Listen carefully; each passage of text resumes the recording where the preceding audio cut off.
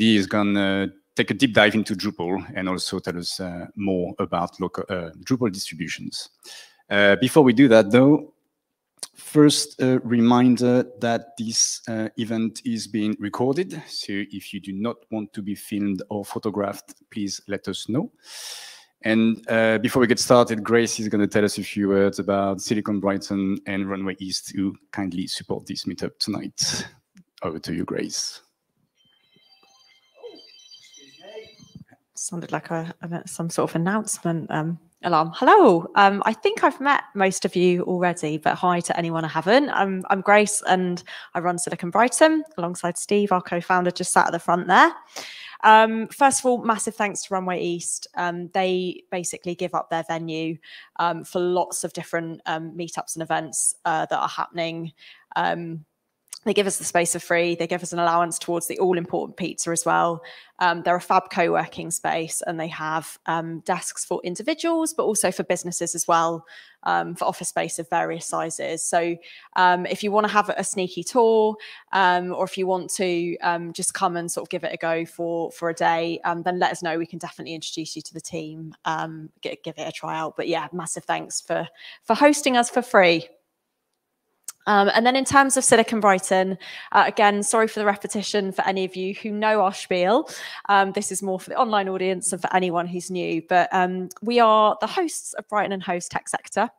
Um, so this is one of about 30 tech and digital meetup groups that happen um, across the city. Um, they are all free um, to attend. They're all hybrid as well. Um, so whether you want to come in person or tune in online, um, they're available for people at all levels. Um, and the idea is to remove any barriers to entry at all for people that want to come to these events meet new people, upskill, learn new things, um, all that good stuff that happens from getting together either online or in person.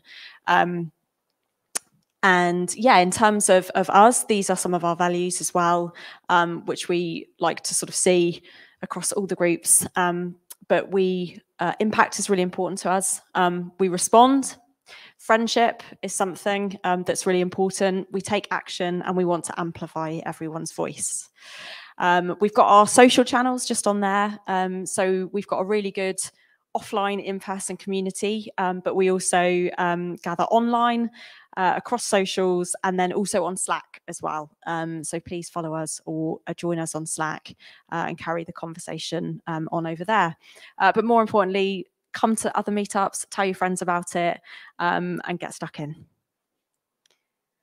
These are all our fabulous supporters, um, businesses who contribute to us on a monthly basis, uh, basically to fund what we do so that these groups can continue to be free for everyone. Um, so just a massive thank you to all of those businesses. And I think that's it. So um, back over to Yannick, who's going to introduce us to our speaker tonight. Thank you, Grace. Uh, I think we've got a job announcement as well. Yeah, do you want to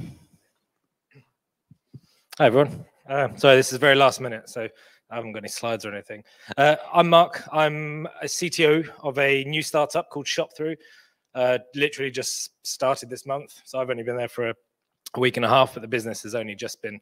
So there is literally four of us at the moment. Uh, so ShopThrough is a new SaaS product which aims to sort of tap into the affiliate marketing uh, side of things. So publishers, large publishers, small publishers, they use affiliate marketing to gain more revenue. So, you know, big advertisers, big publishers like online newspapers, magazines, they actually earn about 25% of their revenue these days through uh, affiliate links essentially. So I don't know if you've ever been on, you know, one of those sites, you click on a you click on a link, essentially they earn a small commission from that.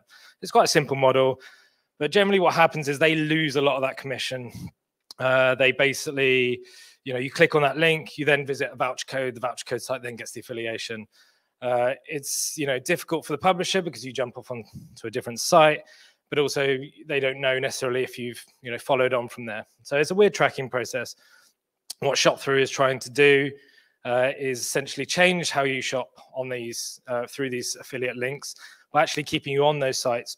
So we load an in-context checkout, so you never actually leave. So say you're on, I don't know, which uh, site, for example, and you're viewing the best kettles and you click on one of the links, actually an in-context checkout will actually load up there and then connected directly to the retailer. So the retailer actually sees the the order go straight into their system.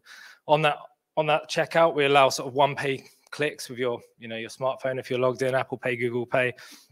Uh, and then we can you know directly you know attribute the commission uh, to the publisher.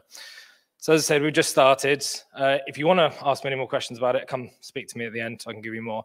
But we are looking for developers. Our stack is primarily on PHP. There's some Python there and a and a JavaScript uh, headless front end as well. As a, I'm not going to say the word microservices, but it is a service orientated architecture, uh, probably with the aim you know moving into that scope so please yeah if you are interested in learning more about it but if you are interested in also maybe coming to work for us uh, come speak to me afterwards. I'd be happy to uh, tell you anything more. Thank you. Cheers mate. Andy how are you doing? You are right? Yeah i'm good thank you. Um so first of all thank you for doing this uh, for speaking tonight um, I mean, uh, it really pleases me when people from the, like the PHP Sussex community uh, kind of uh, you know step up and get behind the microphone as well. I think it's really cool. Uh, so, like I said earlier, so you work at uh, the uh, Brighton and Hove City Council, and you're going to tell us more about um, local Gov Drupal in a minute. But when you sent me the details of your talk, it made me wonder about like the relationship between um, local councils and open source at large, essentially. So beyond local gov Drupal, uh, are there any other ways in which like the public sector and local councils uh, interact with open source? Like do you do you guys use other tools as well? And do you how do you share knowledge as well? Like do you um, is there like some sort of council tech meetup where you yeah, gather and so, exchange information or what's uh, how does it work? Yeah, so there's uh, quite a few of those um, that are sort of happening more and more, um, particularly in the public sector, gov sector as well. Um, so the Department of Leveling Up Housing and Communities, um, they have a thing called the Local Digital Fund, um, which councils can apply to um, for funding for open projects. And as part of the, uh, you have to sign up to the local digital declaration, which pledges you to work in the open and to adopt more open source technologies. So um, Local Gov Drupal itself was birthed through that project. Um, and there are various rounds of funding that they do. So there's like an open planning portal that's the, being trialed.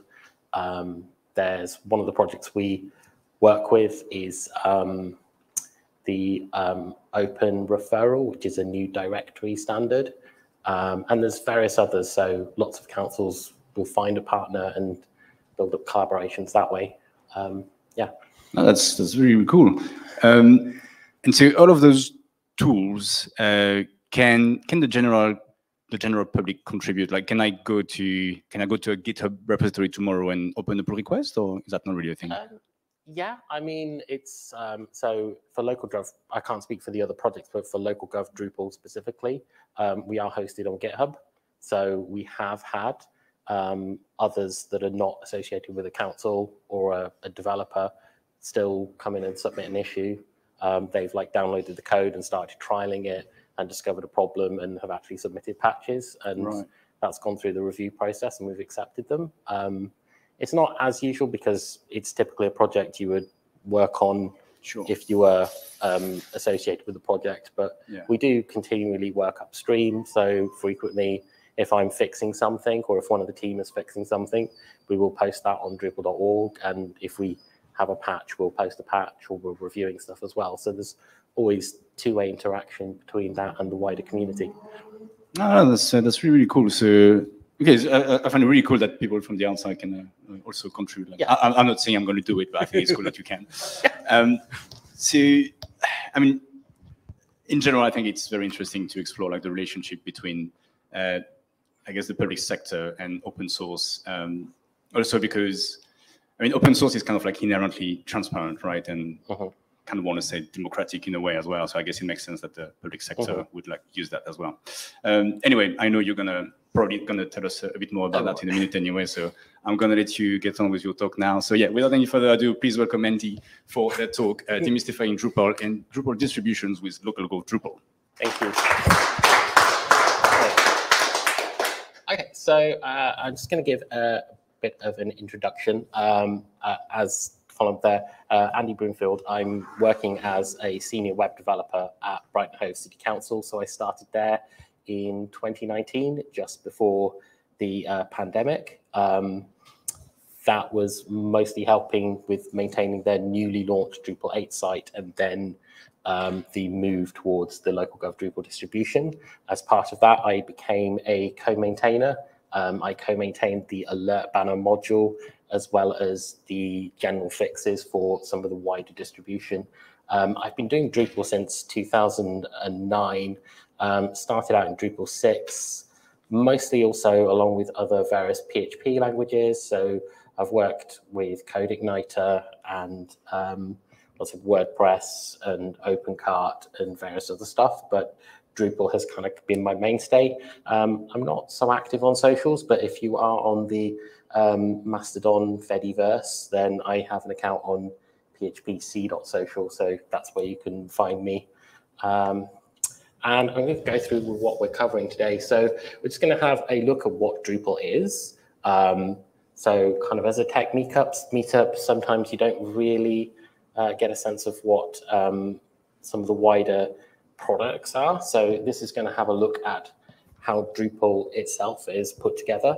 Um, and then we're going to have a look at um, what we mean by the concept of a Drupal distribution. Um, so it's how Drupal gets customized into something that can then be uh, released um, and, and built upon.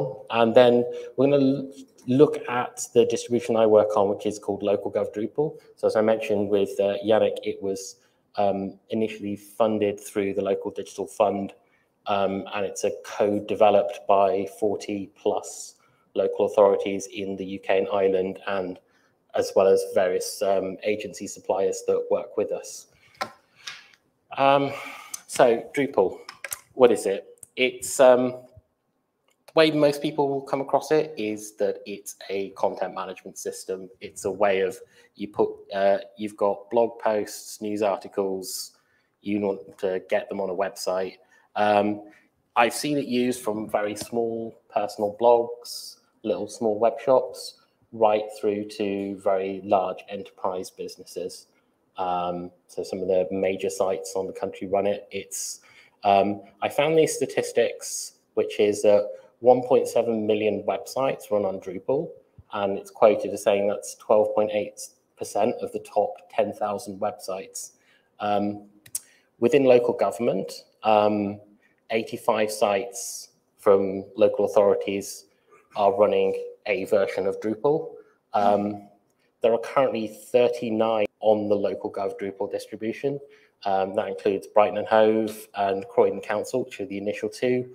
And then it expanded to um, more councils as they've discovered local Gov Drupal as a distribution and have built those with their web teams um, or their agencies. Um, it's open source, so it is GPL2. Um, so you can download it, you can start customizing it, anything we've done in local Gov Drupal, that's also GPL2. So the only condition really is, is that if you're then releasing that, it's free to share because no one likes vendor lock-in. Um, and there's this thing, it's like, like 1.39 million members of the Drupal community um, and 124,000 contributors, 50,000 plus contributed modules. I think that's some statistics from Drupal.org. So looking at people who signed up with um, the uh, Drupal.org uh, account. Um, it has a song. I won't play it that long because it does get annoying, but um, manage your content Drupal. If you want to build a web application, you've got to download Drupal. Drupal, Drupal, Drupal, Drupal, Drupal. Drupal, Drupal, Drupal, Drupal, Drupal. Yeah, I won't play it too long. Um, there is this. no, no, that is on YouTube. There's a link there. There's also a Swedish death metal version if you're to listen to it. Um, so, history of Drupal. Uh, Dries started it in 2001. Um, that's a quote from when he started it. It started out as a message board, very similar to Slashdot. If you've ever used Drupal and seen some of the really unusual features, like how it does a big feed um, of all your content by default, um, how it's sort of, ooh, there's a bit of feedback. Yeah, um, how it kind of has the user profiles and community features sort of from the get-go. It's that's from its history that it is this um, community billboard system. Um, around 2006, 2007, that was when it kind of got some mainstream breakthroughs. So the MTV site, the NASA website started being developed in Drupal. It was around that time that you had the Barack Obama White House using Drupal for 2008. Um, and then Drupal 7 came along in 2011, and that's kind of been the mainstay of a lot of the Drupal community. Um, that brought in a lot of the core features that were initially contrib modules, um, like the views module and um, adding fields. That actually came into core. And then Drupal 8, that came in 2015. Drupal 8 was built around Symfony, so it became a much more modern application, uh, a more modern PHP application. Um, so it could be expanded upon and use more modern development methods. Um, although Drupal 7 is still around, um, which we'll talk about that in a moment. Um, Drupal 9 and 10 have since followed in 2020 and 2022. They've recently adopted a new release model, which means Drupal 10 will be supported until 2026, um, effectively as an LTS release. So the way they're doing it now is, is that while Drupal 11 will come out in 2025, uh, I think it is, there's still going to be more of an overlap for you to upgrade. So you've got Drupal 10 until um, Drupal 12 is ready.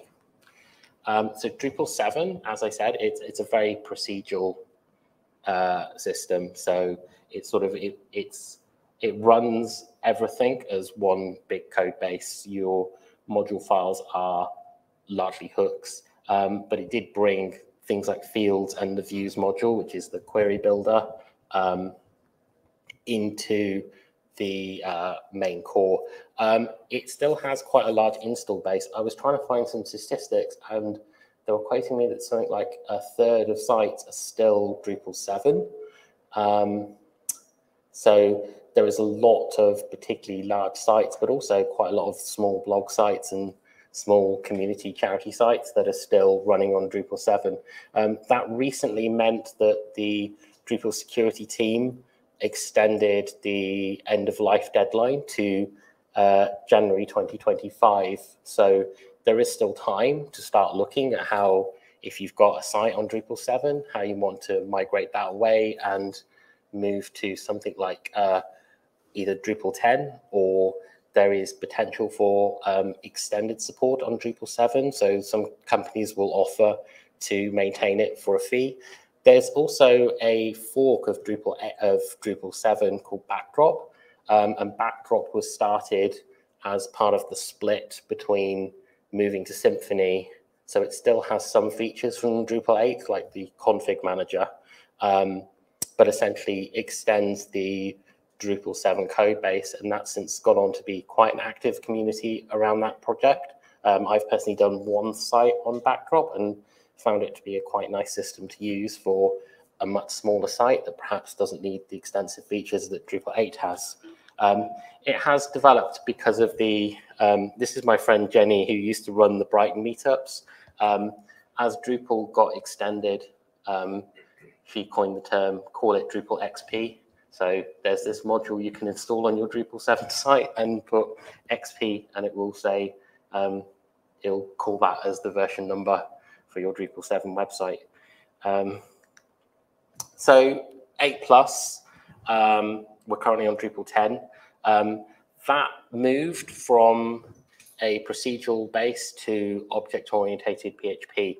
Um, procedural code still exists, so we will do some demos on that.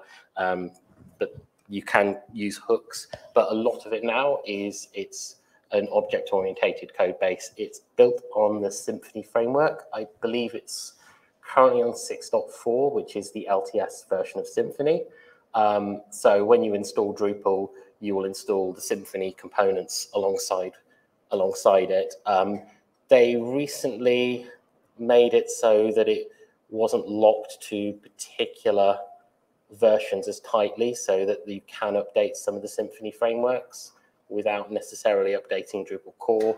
And that was just to speed up um, bringing in some security updates. Um, this meant that uh, it's now thoroughly a composer-based workflow. So you require modules um, using the command line. So you'll either use composer create project or you'll use composer require to bring in a Drupal module or a Drupal theme. Um, some of this is being abstracted for site builders. So the contention around why Backdrop moved away, at least in part, was that it became very more technical focused. And that's something that Dries has been trying to um, move back from and to say that actually, um, you know, site builders should be able to manage their sites without um, having to have very high technical knowledge. So there is a new thing coming in called the uh, project browser and automatic updates. And the way that will work is, is that behind the scenes, it will run Composer, but site builders won't necessarily need to have to do that. If you are developing, um, this is something unusual that you don't find in many Drupal projects. And you do use the Composer patches plugin, and you do use patches quite extensively if there's an issue you need to fix.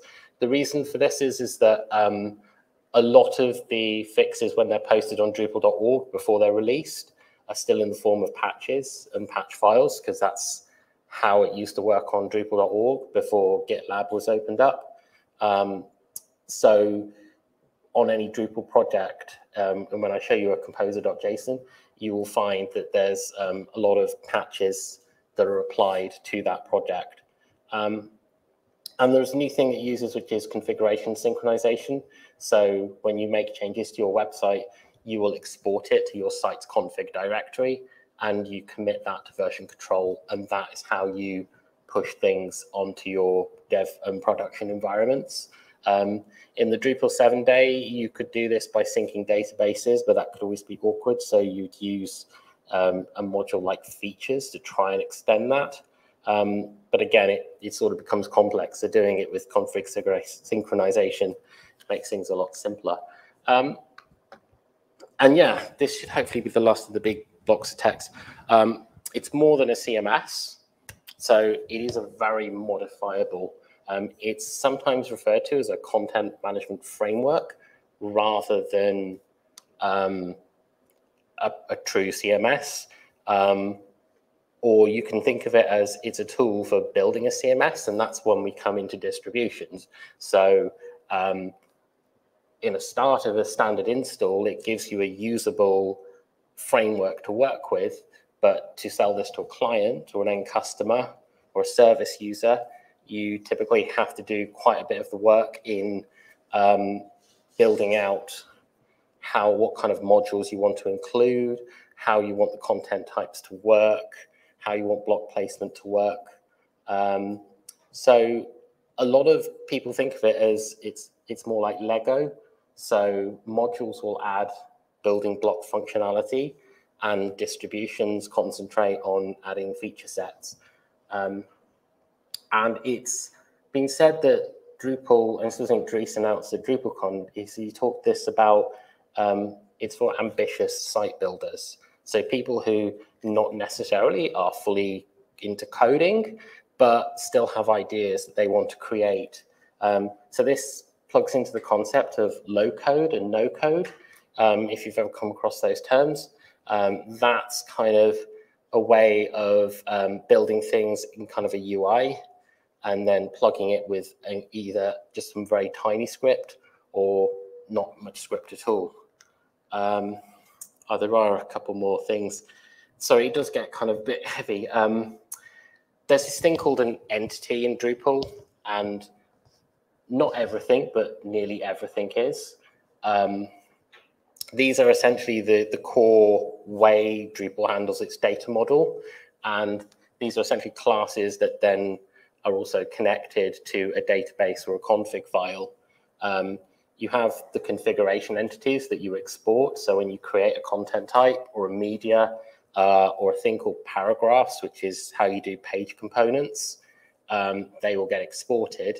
And then your users, your end users, they will use content editing entities um, to create content. It still uses the term node, and that again dates back to some of the history of where Drupal came from. Um, but in the UI, it tends to be referred to as content. Um, and there's a thing called views, which I'll show you in a moment, which is um, that's kind of a query builder that lets you build those queries in the UI. So um, if you wanted to like put a list of things together, have some filters, you can do that entirely in the UI and it um, puts it together. Okay, so I'm going to go with a little example site that I put together. Um, so I've just done a very basic install of Drupal out the box. Um, I'm going to, we have some content here, which is some blog post content but we currently don't have a listing for them. So um, what we're going to do, we're first going to go to structure. We're going to go to views. I'm going to add a view. And my view is going to be called blog. And it's a content of blog post. Newest first. Create a page. Blog path of teasers. Display 10 items. Save and edit. And that has created this little view. Um, and we could just save that now and go to that path. Okay, so if I went to, now I have my blog page and it's just done that without having to write any code. But one thing we might want to do is put that into the menu. So normal menu entry. And I want to put it in main navigation. Apply. Save.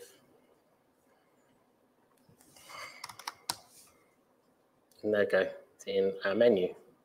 So um, so that's what we mean by being able to do things without having to write code. Um, other things we could do here is, is that we could decide we wanted an image. So I'm going to go into my content types uh, and blog post manage fields. Um, and this is actually a new UI they've done for Drupal 10.2. Um, and I would pick, actually I'll call it main image. and I'm going to pick media. Continue. And it's just one of those. And I'll be able to pick an image, save. And then I need to go into manage form. So as you're putting your CMS together for users, I'm just going to drag it so the image is the second field. And then in my display, I'm going to put the image at the top. I'm going to hide it. Rendered entity means, um, again, this is the thing about everything being an entity, means that um, pretty much a lot of the fields you'll be working with are entity reference fields. So we're referencing the media entity, which in turn references the file. Uh, so if I save that, if I go to content, edit that post, add media, and I've got a pre-selected image and I will click save on that.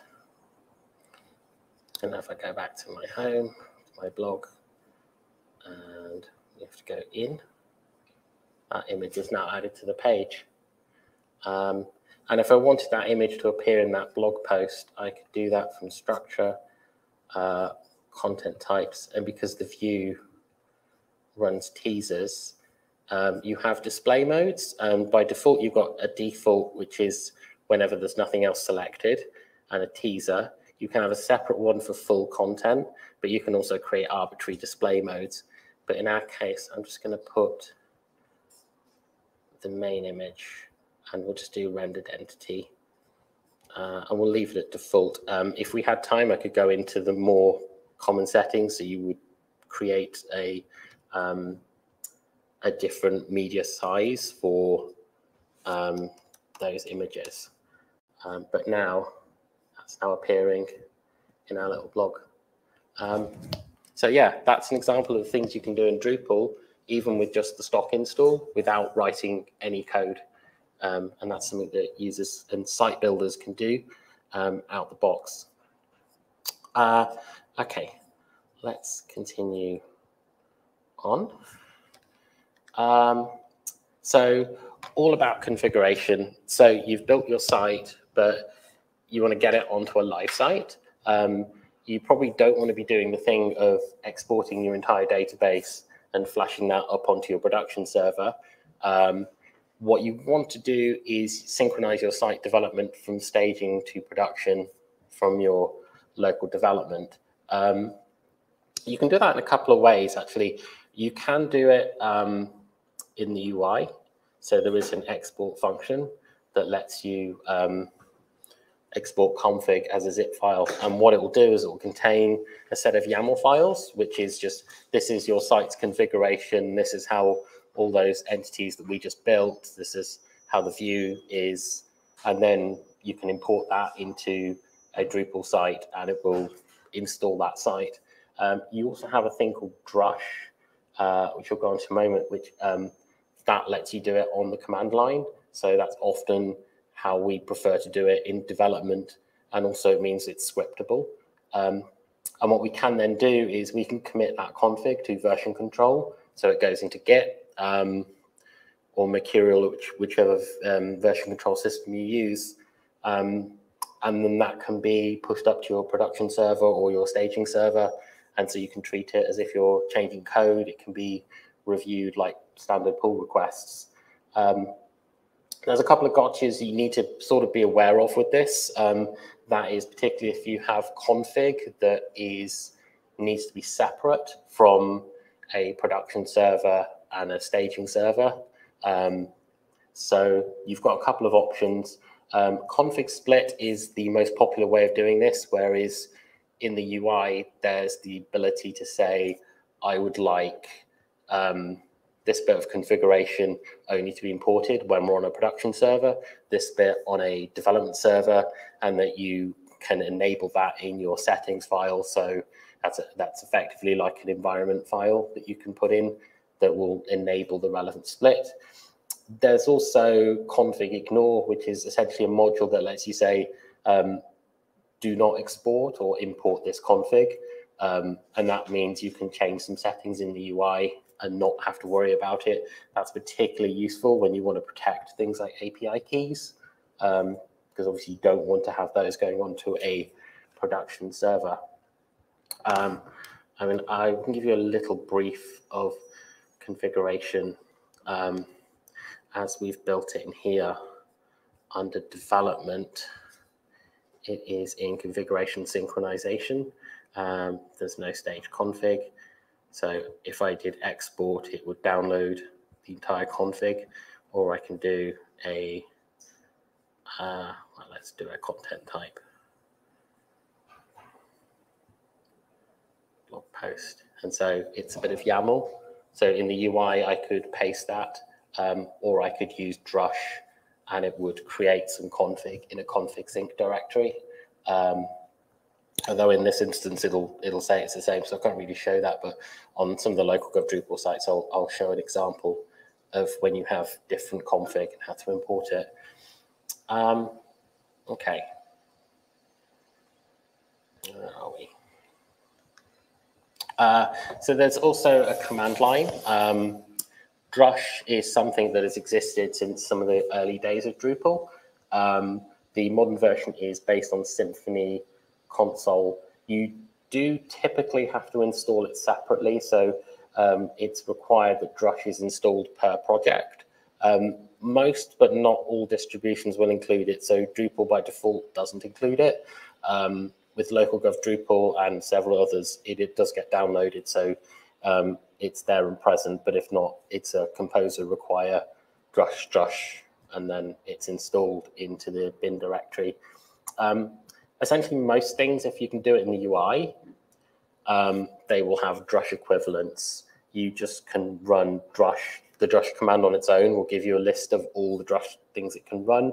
Um, the most typical one is operations, again, involving your config operation. So if I wanted to export my config to the config sync directory, I would just use drush um, config export or the shortcut CEX.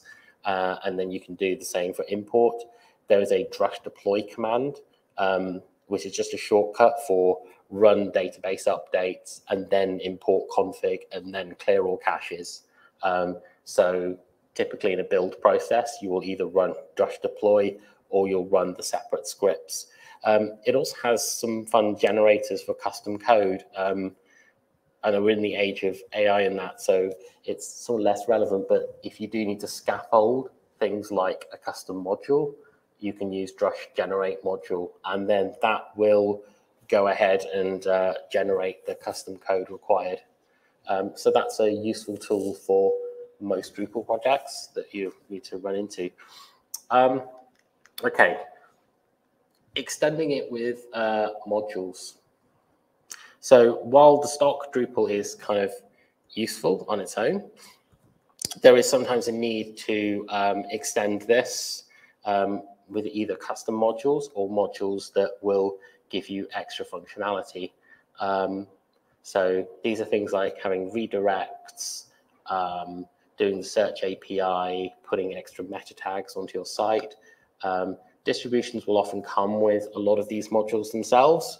Um, but if you need to find something, um, a good stop is to look at Drupal.org. That has a collection of um, hundreds and thousands of modules to expend, extend your site functionality. Um, you install them through Composer. So they have a type, which is Drupal module. Um, and this is how Drupal knows to install it in the right directory. So um, they don't go in vendor as most dependencies. They will go in the modules contrib folder um, of your site um, or custom if it's your own modules. Um, but Composer will know how to do this because it's defined as type and part of the composer script that you get with either Drupal core or um, other modules comes with the relevant scripts for comes with the relevant definitions so it knows to install it in the correct place. Um, you would use the module name info YAML for description and compatibility. Um, so this is just things like um, its version number and, and, what core it's compatible. Um, so previously, uh, Drupal modules were only compatible with a single version of core. So you had the Drupal 6 version for 6, the 7 version for 7. Um, late in the 8 release cycle, they changed this to let you have a core version requirement, and that allows you compatibility between different cores. So you can have a module that's compatible with 9 and a module that's compatible with 10. Um, that's been very useful on the LocalGov Drupal project because it meant that when we went to Drupal 10, we didn't have to do a full release for all of our modules if it if we were using code that was um, already compatible with the next version. We could just say this is compatible with the next version of Drupal, um, and that helps with those kind of updates. Um, you still get procedural code, so dot module is historic. Um, that's something that has existed from the early days of Drupal, and that's where hooks come in. Um, but you also get the source directory, and that's where you'll add some um, um, the more object-orientated code. Um, modules can also install config themselves. So um, this is particularly useful in distribution world where you want to configure a site a certain way. Um, you could create a module that has the blog content type that we demonstrated, and that would, when that's installed, it would actually install that content type into the website. Um, and that's used particularly extensively in local gov Drupal, where um, some of our modules actually define the content types that we uh, rely on.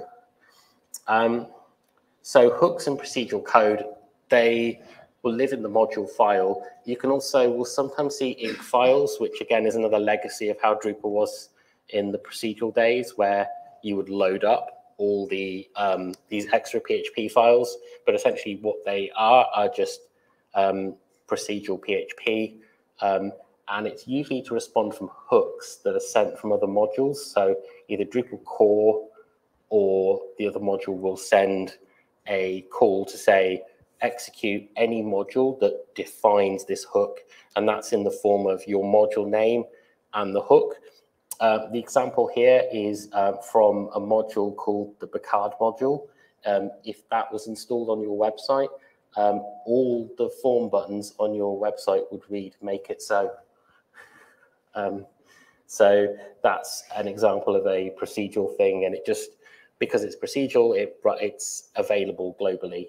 Um, there's also other kind of hooks, which is pre-processed, and that's useful for modifying a variable that's sent to a template.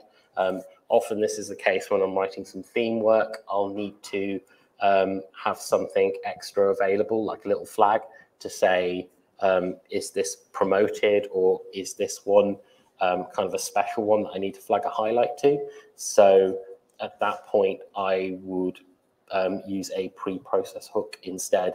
And those are sort of named after the template that they're going to alter. Um, but you can do a lot more with Drupal 8 now. You can do some object-oriented code. Um, so one of the most basic ones might be a controller. So rather than relying on um, the Drupal system, you can define controllers so that you still get the benefit of the menus and the theming of Drupal, but then everything that's rendered in the content area can be determined by your controller. And we've seen this with um, some parts of um, the sites where uh, we've had to, where we want to um, query some specialized services. So rather than trying to run this entirely in Drupal, we will just run this as um, a custom service and then return it through a controller. Um, so you define it in your routing YAML file, and the example on the screen is, is, is from the service status landing list. So you define a path and the little thing in braces is um, placeholders. They come from the uh, Symfony request object. Um, and you can define the default, so the title and the controller uh, refer to the classes and the method that you're going to execute. Um, and that's what returns a build. And build is, um, it's essentially a render array. So uh, with a lot of the Drupal um, controllers, you return this array with some settings for particular um, things you're going to output. And in this case, it's, it's, it's saying actually here's a kind of theme where I want to render it and items is it's going to call an, another service to get items based on the particular node, which would be um, a service landing page in this case. Um, there's also the requirements section, that just says, so um, have you got the permission to access viewing nodes? And um, there's some custom access controllers, so you can actually pass another method and another class and a method and say, this is how I determine if access is permitted. Um, you've also got access to services. Um, so particularly uh, Symfony style services and event subscribers. So these can be just arbitrary classes, and then they get added to the Symfony container. Um, and then you can call them using either a Drupal call to load a service, or you can have the service injected into other classes as well. Um, so the description on the left just shows you how a uh, service definition is done, and it's very similar to what you might find in just Symfony. So you define your service name and you say what class it is, and the argument is the other services in the container that you want to pass. So things like entity type manager and entity repository, they're actually um, Drupal services that Drupal has defined, and they will get injected into your service through dependency injection. So you can use standard dependency injection patterns. Um, there's other things you can actually do by defining it as a service, which is you can actually run decorators. So if you actually want to override an existing service, you can define a decorator. And then when other things call a service by that name, if you're decorating it, your service class gets called in, in its place. Um, and there are certain priorities. The, the one thing that I find quite useful is this thing called event subscribers. So event subscribers, you will, um, one of the more common ones we have in local gov Drupal is we have a custom page header event where we have the title and we sometimes want to put a little summary, but sometimes we want to change that. So we want search result pages. We want to inject what the uh, search term was. Um, or in this case, we might want to um, remove or hide the block. Um, in this case, for the service status view, um, so we can actually just respond to the event and set the visibility there as false, or I could set the contents of the header to a different value, um, which is something we've done in many places. So that's kind of a, a useful tool to uh, and respond in a bit more modern way than some of the hooks. Um, and there's this thing called plugins, which are sort of different to modules. They, they, exist as part of a module, but they come in a prescribed directory. So you don't define them in your services.yaml. Um, a common one is blocks. So I would put a block.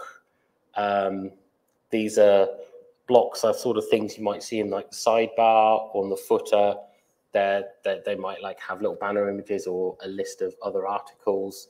Um, and the way you define them, they go in the plugin folder and then in the block folder. And then you use a doctrine, which is what that stuff on the on the right is. So it would be you define it as, as an ID and an admin label and I think context definitions is similar to the arguments that were being ejected in. Um, yeah, I can I can get a, I don't know if I can zoom that in. I don't think so. I can get some of these up on screen when we have a look through in a bit. Um, but yeah, so that uses a format of doctrine. There's also um, a new thing that PHP introduced, which was attributes. And so some plugins are going to start switching to using attributes in the future. Um, and there's another thing which is themes. Um, theming, again, like modules, you install them in Composer. Um, they're a type called Drupal theme. So again, it just knows to put it in the right directory. Um, so you just can use Composer required Drupal theme name. The templating system is Twig. So again, it's taking that from the Symfony project. Um, and so Twig, you have variables that are injected to your theme and you just use the curly braces to sort of get them. It also means that it's a lot safer. So previously Drupal 7 would use PHP template. So that would be executing PHP. Um, you probably don't necessarily want that on theme layers. So you can still do logic without necessarily exposing uh, PHP, PHP functionality. But if you still need it, there is the .theme file, which is, again, just a standard PHP file that can respond to hooks. Um, and it also has a thing called libraries.yaml, and that's just kind of how you would define your CSS. So typically you might have general CSS that you want to load, but uh, one of the things, particularly Drupal 10, uh, well, Drupal 8, since Drupal 8 has allowed, is you can not load all the styles or all the JavaScript you want um, unless you actually require that on a page. So you would break it up into libraries, and then through those libraries, um, you can define when you want to load those libraries. Um, so that's an example of a Twig uh, file. Um, so again, it's, it's largely HTML. That bit at the top is just a block of Twig that's saying um, what classes do you want to set. Um, so that is sort of adding those as a class array to that article um, tag. Um, and then you've got some if statements in there. But again, it's just a way of doing um, dynamic functionality without necessarily exposing PHP into a template. Um, and that's taken from the local gov base theme. So this is going to move on then to a concept, which is a distribution. So as I showed in that example, when I build that blog site, um, Drupal out box, while it does have lots of functionality, it's um, there's still quite a few things that are missing. So it doesn't include meta tags or redirects by default. Those are things that uh, those are modules that you can install.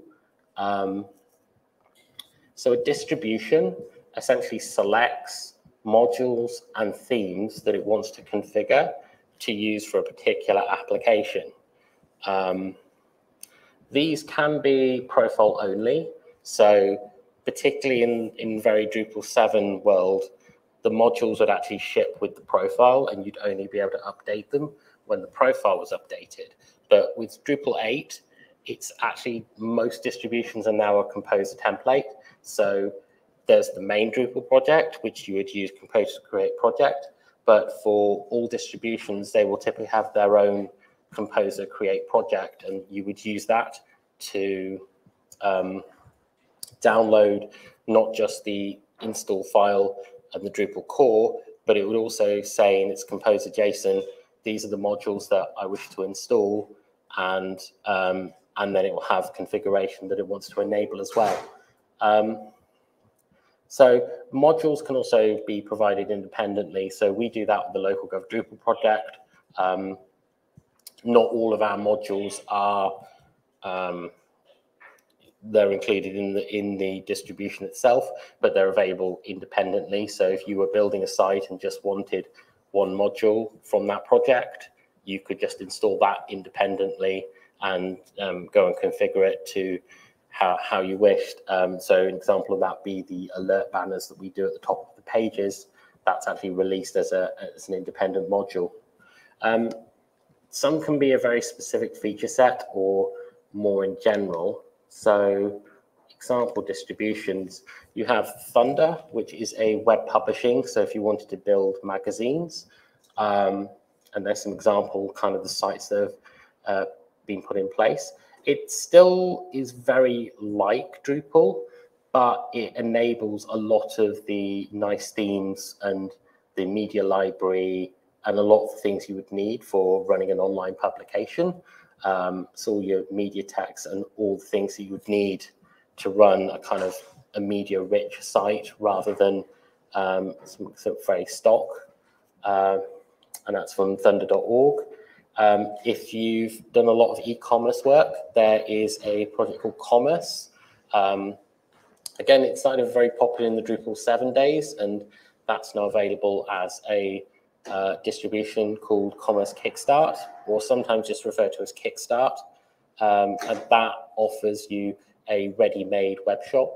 So um, like many of these projects, you can actually install a demo module as well, and it will give you some sample functionality. So if you wanted to try it out, so in that one, it, that Belgrade store is actually one of the demo modules that it comes with, and it then also gives you an out-the-box um, management for uh, inventory and sales um, Farm OS, if you ever needed to manage a farm, um, that will pre-configure Drupal to uh, manage assets, manage land, animals, and uh, gives you this geo thing so you can define what kind of uh, land ownership you want and divide your fields up. Um, open social, run a social network. Um, so again, this one is very, um, it's very rigid because a lot of its modules are actually part of Open Social. So it's a little bit tricky to customize, but you can still do it. So um, this is the thing, if you wanted to run a kind of private social network, um, it also has uh, some plugins. Well, I did some development for a plugin to um, power it with ActivityPub. Um, so that's then you can connect that to the Fediverse as well. Um, it's not formally part of Open Social, um, but it's something that you can connect up if you wanted to um, have something wider. So an activity pub has been something in um, WordPress world a lot. Um, so it's nice to try and connect those things together. And finally, the one that I'm going to talk about is um, a distribution called LocalGov Drupal. And this is for running council websites, local authority websites. Um, and this comes with a set of standard content types um, and a standardized base theme, which you can then customize. So it sort of sits between the um, not so opinionated, but gives you enough functionality like Thunder and some of the more very strict ones like uh, Open Social. It's still quite open for you to um, exchange and, and actually uh, uh, to actually work with. But it gives you quite a lot out the box so that you will get a mix of uses from some councils essentially customizing the base theme and others actually wanting to run with it and do largely their own thing. There's a couple of other Gov distributions as well. Um, the, there's Gov CMS, which was funded by the Australian government, um, and gov.de, which is a German government one. So um, local Gov Drupal has tended to have a focus UK and Ireland. It takes its inspiration from a lot of the GDS um, model, but this kind of model is sort of happening around the world. Um, so it's kind of an interesting part from that. Um, so to give an understanding of what local Gov Drupal is, um, it's a collaboration between 40, what is now 40 councils in UK and Ireland and their supplier agencies. Um, I say that so that Brighton, we have an in-house team. Um, not all councils have in-house teams, so there will be agency suppliers that do need to get involved.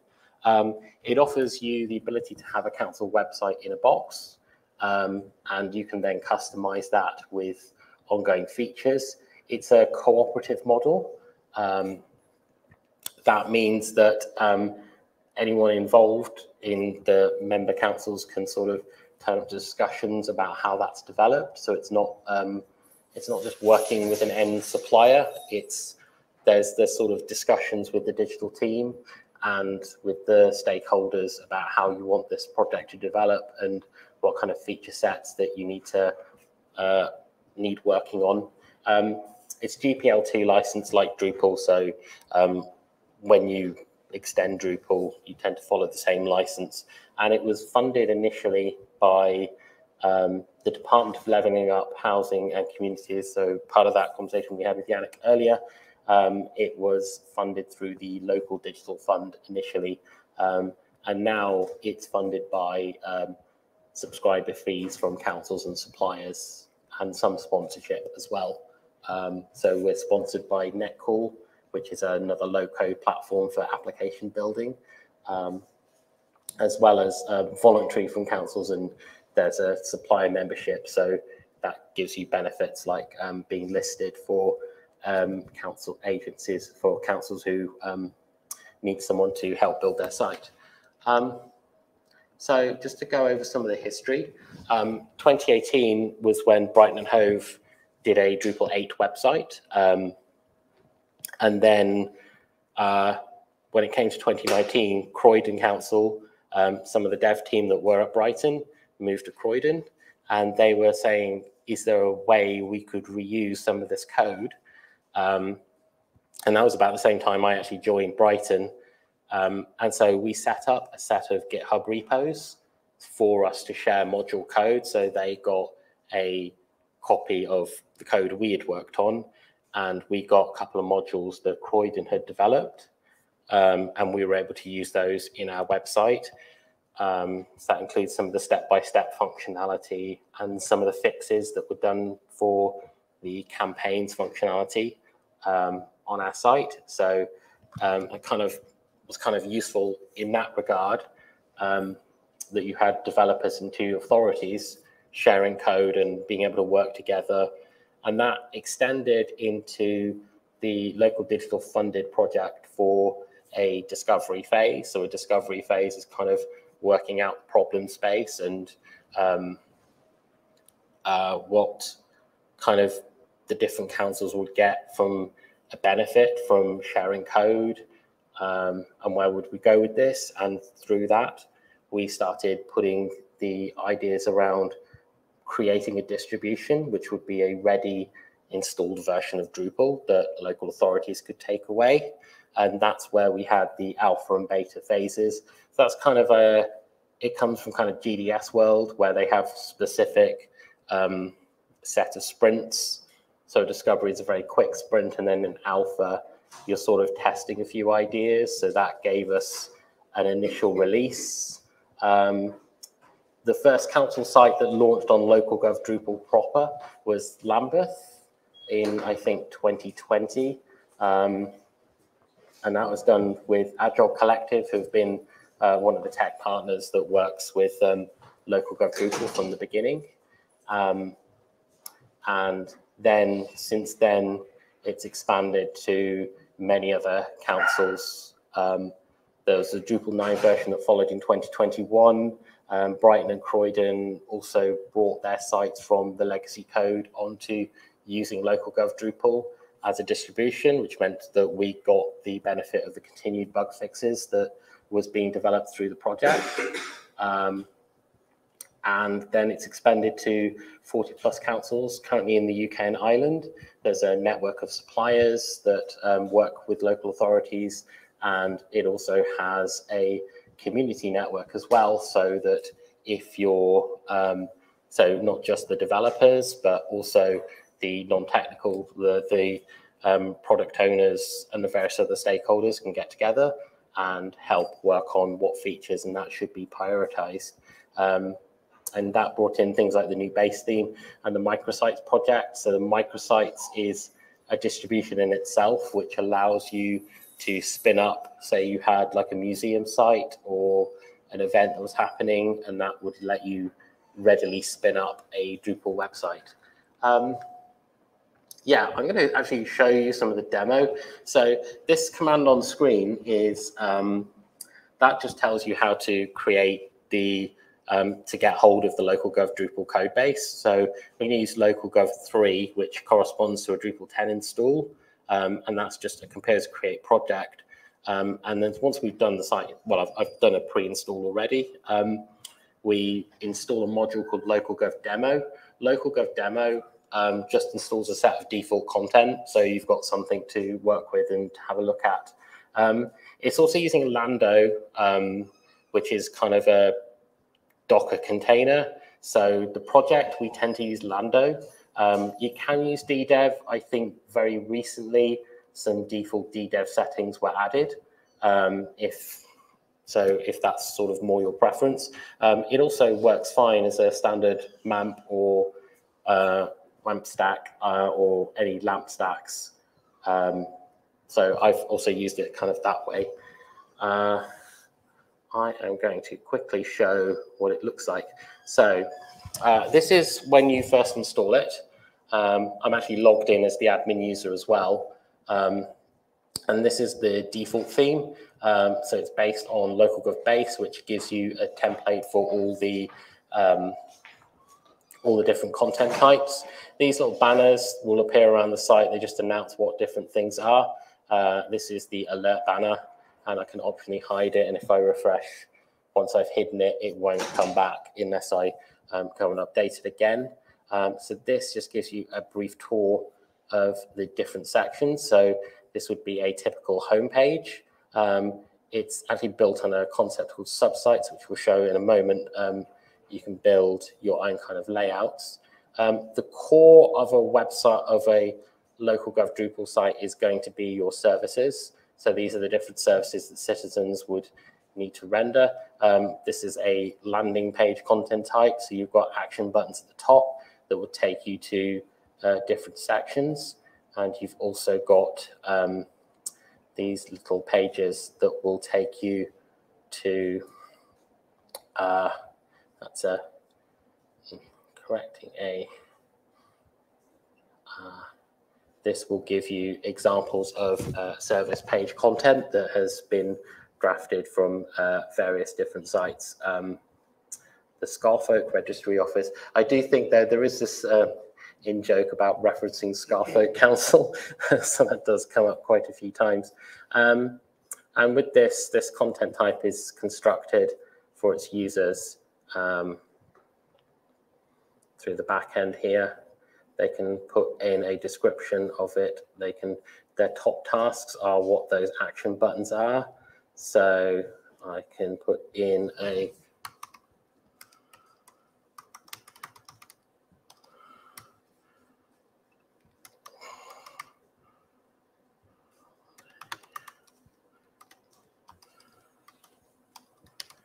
and I can define it as an action or information. And if I save that, that will appear on the top. Um, I'm actually, I'm conscious we're actually at eight o'clock, so I will try and skip through some of these. We can also do the child pages. And this section at the top is something that was added into the distribution. So any page that's linking, you can actually drag that and it automatically will add that to the child pages.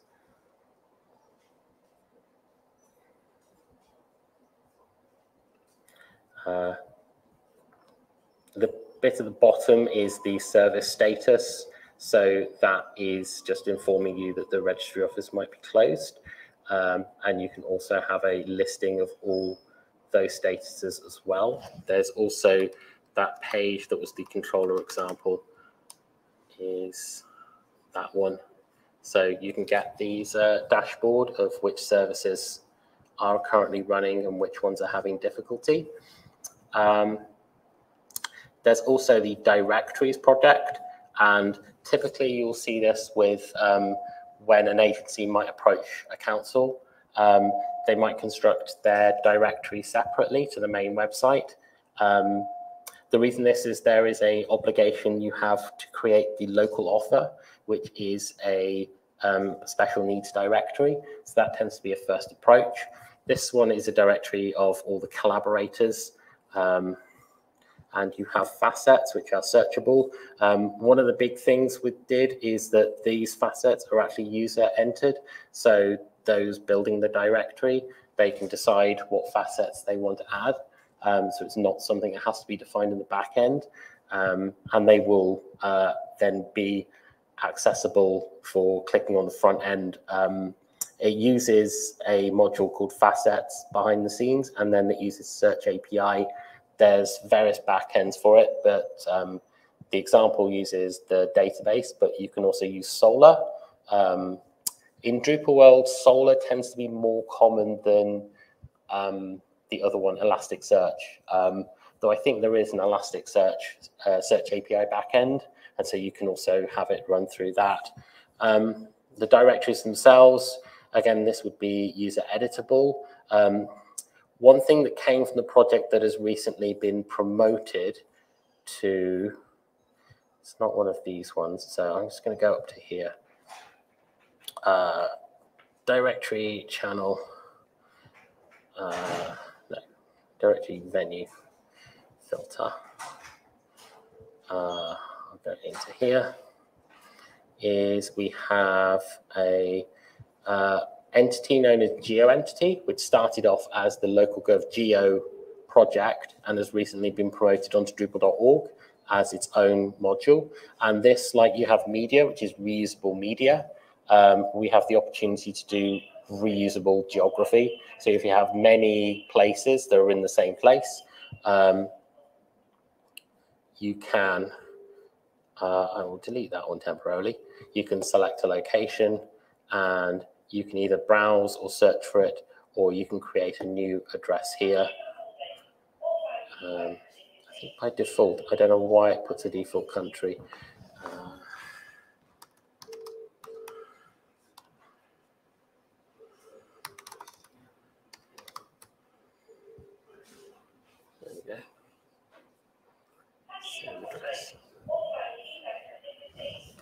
and that would update the map for that entry. So yeah, they're now in Brighton.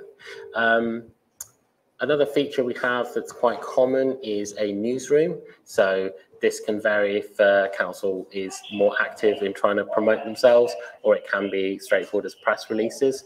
It started life as the Brighton Hove newsroom and then was developed further by London councils. um, for their press release department.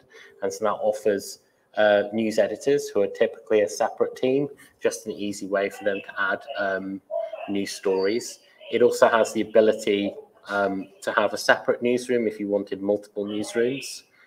And you can just, yeah, this is just an example of adding the, I can also click that thing just to make it a bit larger um, to edit their story. And you can also select to promote that on the newsroom, which would make it an article that goes in to the header. So it gets featured at the top, and you can have a set of articles at the top as well if that's a new story that you wanted people to particularly focus on. And the other feature is this thing called subsites. Subsites are when you want more rich content on your site, so not just the static uh, services page. So they typically will live in their own section. Um, what's interesting about them is, if I add one, is they use the paragraphs module and they use uh, they use a thing called a page builder, which is um, actually a module called layout paragraphs. And you can drop content in. I can put a text box.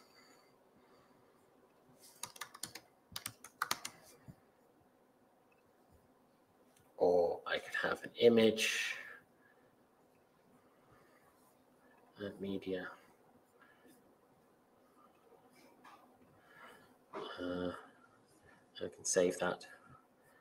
And then Oh, yes, I need to make it a parent, so I will put it in save. And this is the moderated content. So if you have content that is reviewed by a service team, that could then be published. And then that exists into that document. Um, cool. The other one I want to show you before we hit the wrap up is so a new, uh, well, it's been around in Drupal for a long time, which is web forms. And that's something that we're trying to promote more because um, rather than use a proprietary solution, this is something where you can give people the the content editors, the opportunity to build forms themselves. So let's have a simple form um, of you want to report something. So a typical transaction might be reporting a lost dog. Um, that's built um, in a UI, so you can assemble the pages together. Um, I might add an element which is date.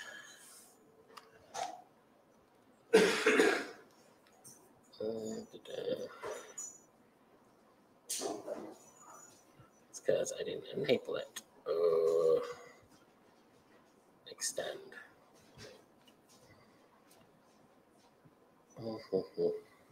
Would be a demo without something going a bit wrong. Um,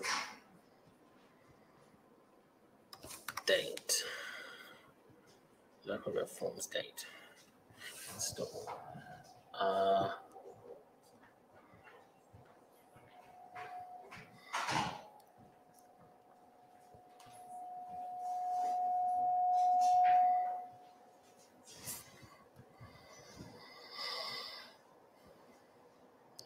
So if I went into my form, uh, report a lost dog, build, and on the bit where I say last seen, add element, uh, date, uh, when did you last uh, save.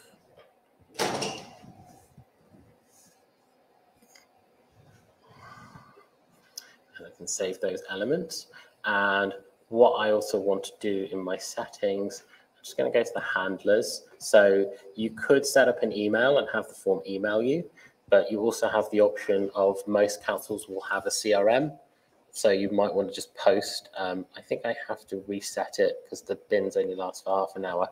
Um, but if I take that value, copy that, uh, I know, I'm almost done.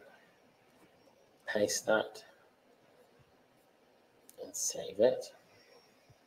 And then if I fill this form out, I can say Max, Border Collie, black and white.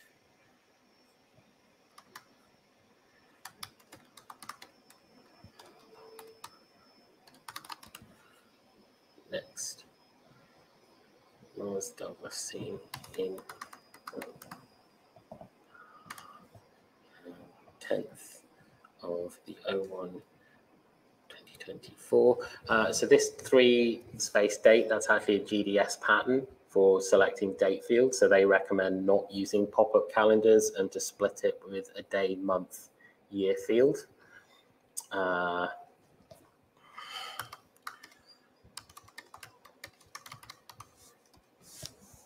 if I submit that, what should happen is if I go into this, that's now posted it. So if this was a CRM system, that would then start being posted and you could um, take that form data and start um, processing that as a case. So you can use Drupal as the front end to gather information, transactions citizens, and they benefit from the front end work you're doing with Drupal, but then you can process that in the CRM application that you're of your choice. Um, I'm going to quickly go through and just wrap up because I am conscious of time. Um, so I'll skip through some of those things we talked about. Uh, install profiles is kind of just how um, all this comes together with a distribution. So again, they're of type Drupal profile uh, and they live under profiles contrib or again, um, sometimes it's quite useful and it's something we use at Brighton where we actually have a custom profile that um, is a child of the main local gov Drupal profile. Um, so that can install some of our own custom modules. Um, and the info.yaml, that just says which modules you want to install. There are two sections to it. One is dependencies that you have to install, and the other is a section which is install, which get enabled by default, but you can remove them. So I might want to have a project that does install um, some of the services modules, but actually I want the option to disable them because this is just going to be a directory site. Um, and it will often contain composer.json. So that can contain, um, even though they're in the require section, it's often used by distributions to have modules that they want to show, they, that they want to be available but not actually enabled by default. So these could be some niceties like autosave, which um, is a little bit of an experimental module at the moment. Um, and profiles, the big common thing with profiles is that you will have um, config to install. So these are a set of YAML files, which is how when you install local gov Drupal for the first time, um, it sets up the relevant content types and the relevant blocks and puts those positions in place. And it can also configure some things like the date module. So we uh, changed the date to use UK formatting and not American formatting. Um, and it's used to essentially configure Drupal as um, as you want it. So this goes back to the thing about being a tool to build CMSs. Um, it's one where you kind of shape Drupal in how you want it to be um, for your end customer. Um, and that's just again talking about profile modules and themes.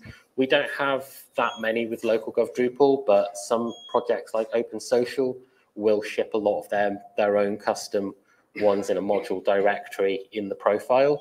Um, the thing to just to note about that is that those modules, you can only use them when you're using that install profile. So if you're not using that install profile, then those modules are not available to you. Um, and yeah, just a word on independent projects. So um, with uh, some modules, you will have them independently. Um, for local gov Drupal, we list our modules on GitHub. Um, although we are thinking about moving this to drupal.org for visibility. So all of our modules you can actually install independently.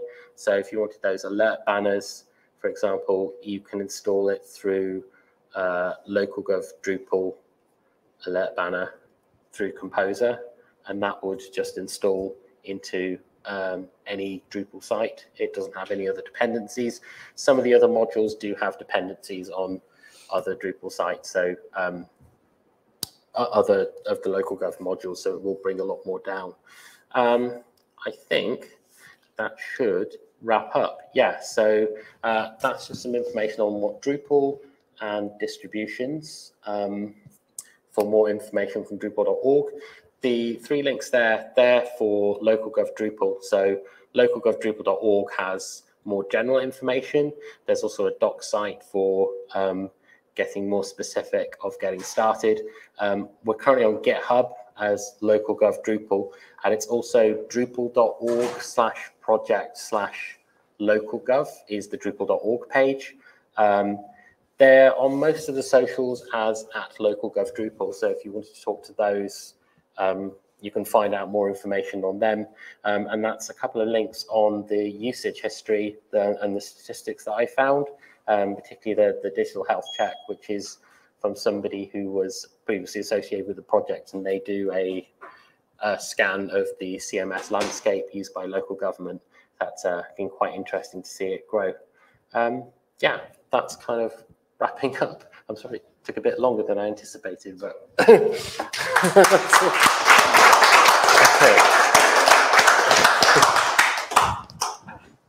One, two. yeah. Thanks, Andy. That was super interesting. Um, I really like that it can be like very user friendly and like yeah, no code or very low code, but also you seem to be able to push it quite quite a lot as well Mhm. and do stuff the Symfony way, the Symfony Mhm. way as well, which I'm sure Symfony developers uh, enjoy.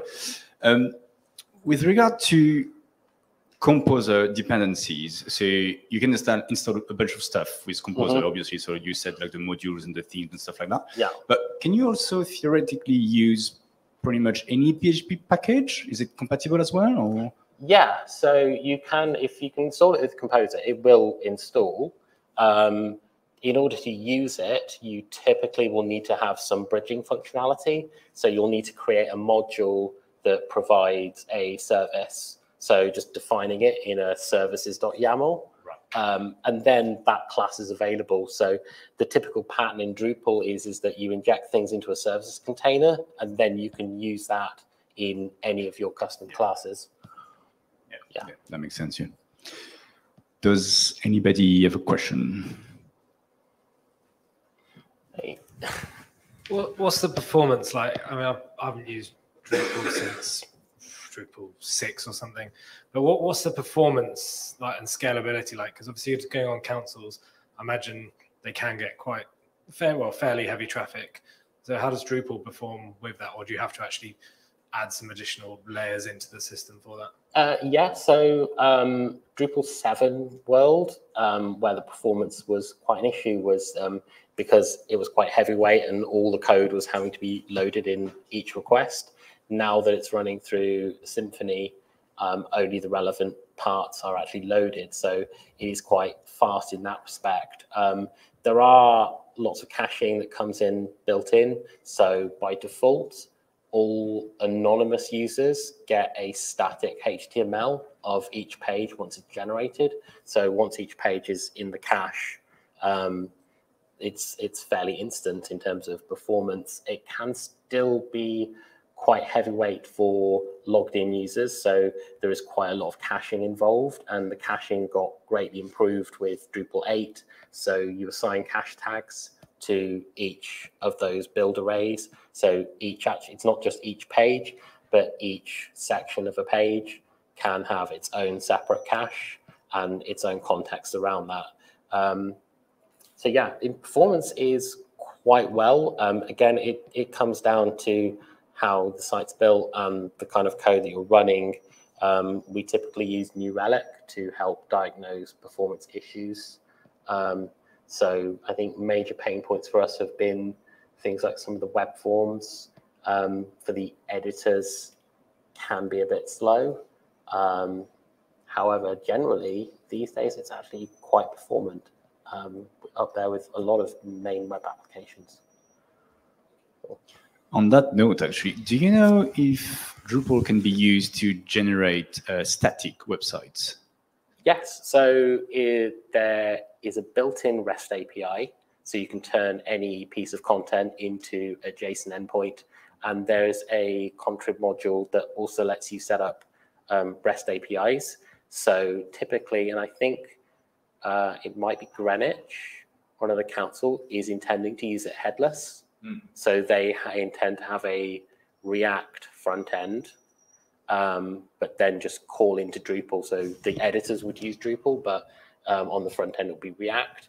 There's also a static site generator for Drupal called Tome, and that can plug into um, either export it as files or um, export it into a Git repository or even the Netlify API. And so you can use that again, have a site that you just maintain for authoring, and then you just publish the pages. That makes a lot of sense. When I think at most websites, I would think that users are distributed globally.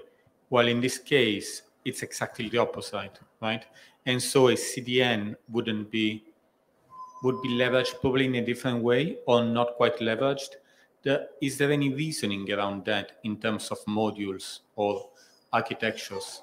Um, I mean, there is the standard set of um, there's the purge module that helps you with caching and the varnish cache, um, depending on your host. Um, yeah, I mean, in terms of the built-in functionality, it's not really assuming much in terms of geography. Um, it'll depend on where you're hosted. I mean, I gotta say that in Brighton we do have a because of a lot of student population and overseas, so we do get lots of legitimate traffic from places like Hong Kong and across Europe and America, not just in the UK. It So wouldn't be saved on the CDN. They wouldn't. The time to live would be the second request wouldn't Mm. meet the time to live thresholds. You wouldn't have Mm. two users connecting from Hong Kong roughly at the same time. no, so I mean, it wouldn't leverage on a CDN outside Brighton. Yeah. Uh, I mean, again, it can vary a lot on your host and the hosting infrastructure. So it's not necessarily something Drupal Mm, itself. I, I kinda was thinking helps. whether there is something that whether you have done any reasoning around it. Uh, yeah, it's not something that's come up with us. Um, it's something that would be of interest, and it's something we can certainly talk through on the local Gov Drupal groups. Because yeah, again, it'd be quite interesting to see the distribution. Um, in terms of built-in functionality, that, that there is the caching and there is the uh, dynamic page cache and the static caching, which um, again, that's done on a global level. So all users, if they're anonymous users not logged in, they are largely getting But a it's caching on the data center level, yeah, not on the edge. not on the edge. So I mean, again, depends on your hosting. So the hosting we have that that is going through a CDN, um, and that would largely be either the uh, I'm trying to remember where their data centers are, but it would largely be on their UK data center that it would be taking it from. Okay, thank you. Do you guys meet up actually with the, all of the contributors now that there are like uh, so many councils using yeah. it? Um, so, uh, so in terms of the development in that, there are regular online meetups. So we do kind of a merge. It was merge Monday. It's now merge Tuesdays, where we will, um, for whoever's about, will come in and start looking at pull requests on a call. And there are various other community meetups. So as I said, it's not just devs; it's the non-technical users will also, uh, or the product owners and um, content designers will can also have their own meetups for discussing um, and exchanging ideas of the kind of things they're wanting to get out of it. Um, but we did have a few in-person ones. So just before Christmas, we did have a social, um, so a little gathering up in London Bridge. Um, so that was good to meet some of the councils that were also involved and the new ones that have come in.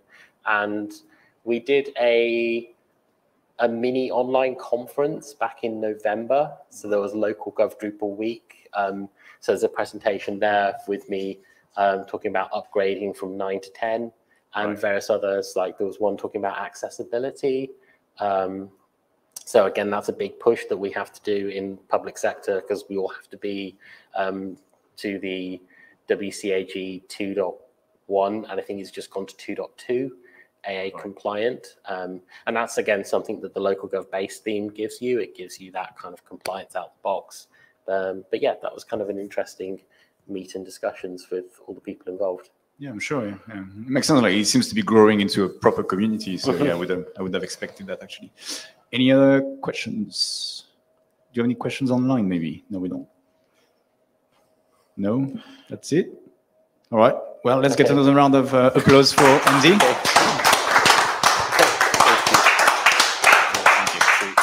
I've got a few things to tell you before we wrap up. Um, uh, oh, yes, so we've got our next meetup.